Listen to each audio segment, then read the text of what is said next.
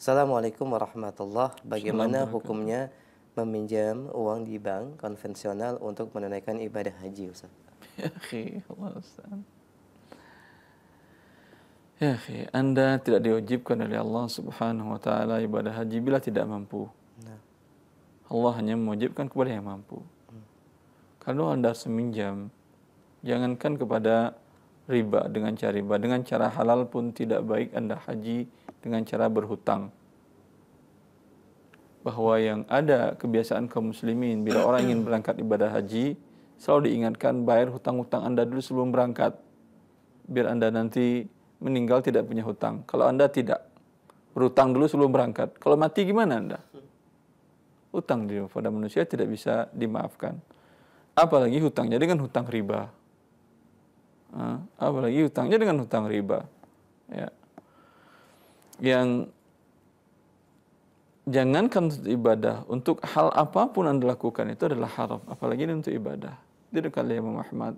Di sini disahkan oleh Syekh Abdul Aziz bin Bas rahimahullah di dalam bukunya Tahqiq wal Idah fi Masail Haji wal Umrah bahwasanya Rasulullah SAW mengatakan bila seseorang berangkat ibadah haji menggunakan harta yang haram baru saja dia menginjakkan kakinya di atas kendaraannya dan dia mengucapkan labbaik Allahumma labbaik. Ya Allah aku datang menyambut panggilanmu.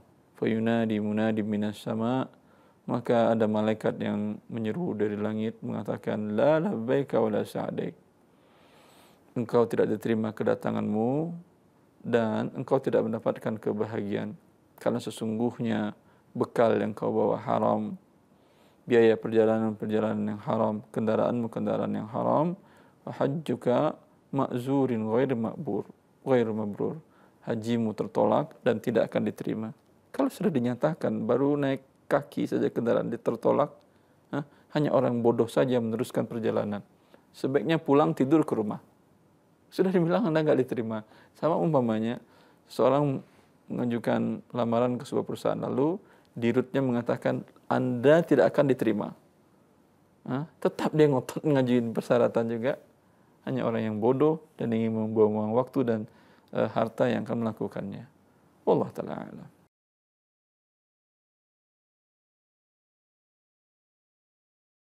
Jika kita punya utang pada keluarga namun tetangga atau teman punya kesulitan yang mendesak, besar mana pahalanya, sedekah atau melunasi hutang?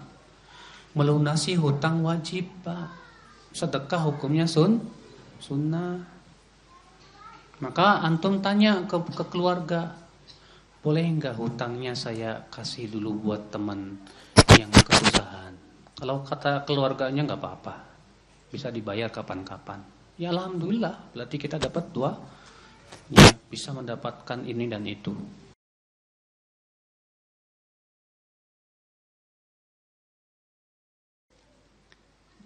Kalau dulu saya pernah mencuri dan ketika saya meminta maaf dan mengganti rugi orangnya sudah tidak di rumahnya lagi. Dan saya nggak tahu di mana dia kini. Ya udah disodakohkan atas namanya. Kalau memang sudah yakin tidak mungkin ketemu. Tapi kalau udah disodakohkan kemudian ketemu orangnya, wajib bayar, kembalikan.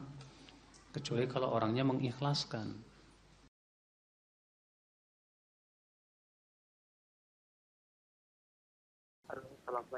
Waalaikumsalam warahmatullahi Dengan siapa Bapak di mana? Dari Bapak Amir di Lampung Timur, Pak. Baik, silakan, silakan Pak Amir. Pak mau bertanya Pak. Iya. uh, kalau ada orang berhutang, itu ya, cuman dia lupa nggak membayar hutangnya udah lama gitu, berapa hutangnya gitu Pak. Itu gimana Pak itu hukumnya Pak? Cara membayarnya gimana itu Pak? orang yang berhut yang dia pinjam masih ada? Masih Pak, cuman lupa Pak gitu. Iya, yang lupa sekarang nominalnya kan ya Pak Amir? Iya. Tinggal ditanyakan kepada orang yang memberi pinjamannya. apakah masih ada data-data di tangan dia atau dia masih ingat. Kalau dia pun mengatakan sudah tidak ada lagi catatannya, Nah, saya juga Pak. dia juga lupa. Ya. Katakan udah kita perkirakan dan saling menghalalkan. Kalau saya yang berlebih saya halalkan, kalau anda yang berlebih anda yang halalkan. Ya setuju dia. Tapi berapa lama waktu sudah pinjaman ini Pak Amir? Tahun berapa perkiraan? Lama sih Pak, sudah nggak inget lagi gitu Pak. Tahunnya tahun berapa? Nggak inget Pak. Sebelum sebelum krisis moneter 98? Ya mungkin sekitaran itu Pak. Sekitar 98. Kalau seperti itu, sekarang berbeda nominalnya Pak Amir. Ini tidak maksud bagian dari riba. Ya, karena inflasi yang sangat besar. Dan dikeluarkan fatwa oleh OKI, ini sesuai dengan maqasid syariah. Maqasid syariah, bahwa ini bukan riba. Riba Allah haramkan karena mengandung kezaliman. Tetapi kalau ini dibayar dengan nominal, berarti peminjam menzalimi pemberi pinjaman. Umpamanya dulu dipinjamkan dia 10 juta di tahun 97. Ya. Sekarang akan dibayar dia dengan 10 juta di tahun 2017. Setelah 20 tahun berlalu. Ya. 10 tahun 10 juta 10 juta di tahun 97 konversikan dengan emas. Mungkin emas di waktu itu sekitar 50 ribu per gram. Ya, kalau 10 jutanya ya 50 ribu berapa dapat Ustaz? Nah, dapat 200 gram. Mungkin Nah, 10 juta, 10 juta. 50 ribu per gram. Eh, Dapat 200 gram. takriban. Nah.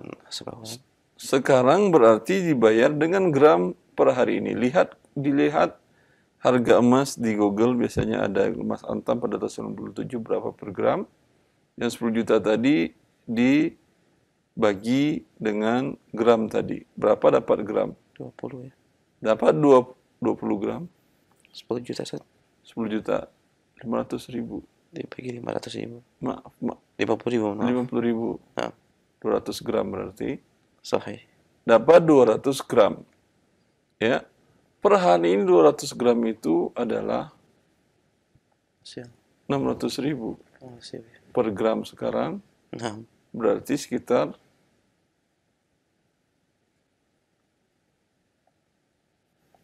ah, Ustaz, 120 120 juta. juta. 120 juta yang harus Anda bayar.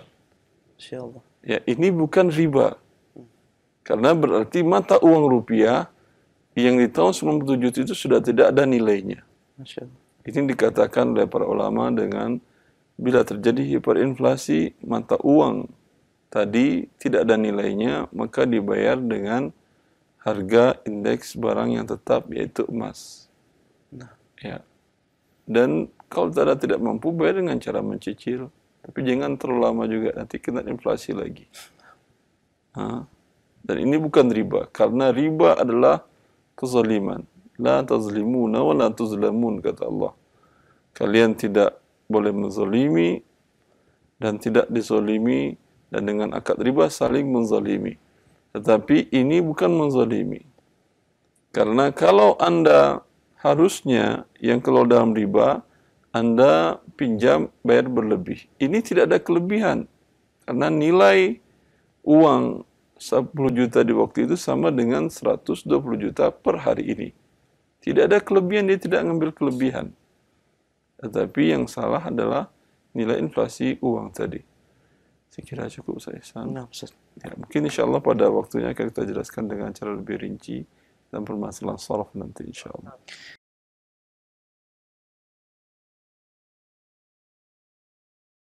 Assalamualaikum warahmatullahi wabarakatuh. Assalamualaikum.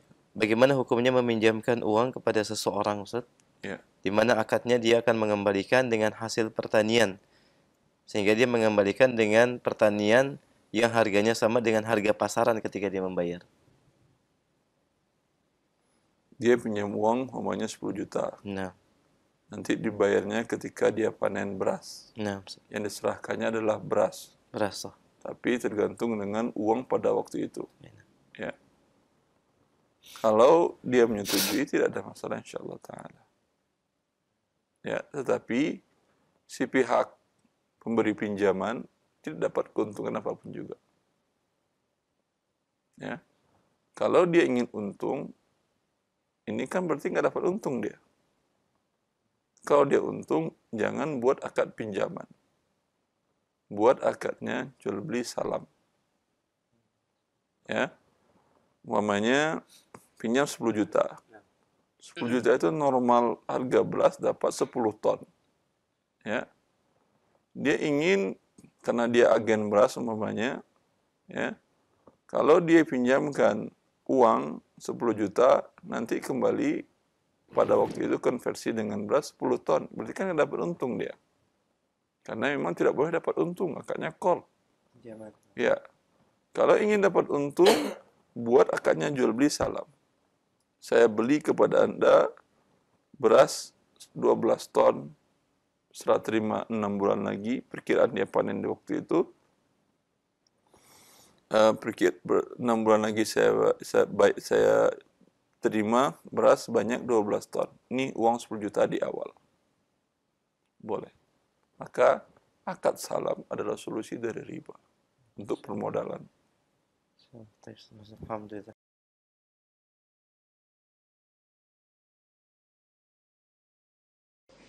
Ustadz, saya mau tanya. Saya meminjamkan uang kepada si Fulan. Tapi sampai saat ini si Fulan tidak ada keinginan mengembalikan uang tersebut. Wah ini zolim nih Pak. Zolim ini. Dan akhirnya saya mengikhlaskan. Ini mah bukan mengikhlaskan atau terpaksa ikhlas namanya. Akhi, antum lihat. Orang ini susah enggak? Kalau memang dia susah, udahlah maafin aja. Ikhlaskan. Semoga Allah maafkan antum. Tapi kalau orang ini kebiasaannya buruk, suka nggak mau bayar utang, kasihan ini orang nanti di hari kiamat gimana nasibnya. Lebih baik antum kasih pelajaran dia. Ya.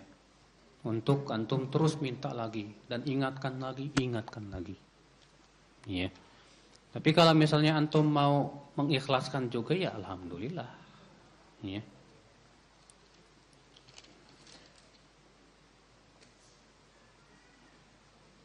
Akhirnya mengikhlaskan uang tersebut karena anak pikir uang tersebut juga anak dapat dari kerja di bank. Kayak gini mah nggak dapat pahala tuh pak. Mengikhlaskan atau menginfakkan harta haram itu tidak berpahala sama sekali. Karena Rasulullah bersabda, Inna Allah Ta'ala toyibun la yakbalu illa toyiban. Allah Ta'ala itu toyib dan tidak menerima kecuali yang halal. Berarti kalau kita infaknya dari rezeki yang haram, pahala enggak? Enggak, sama sekali enggak pahala.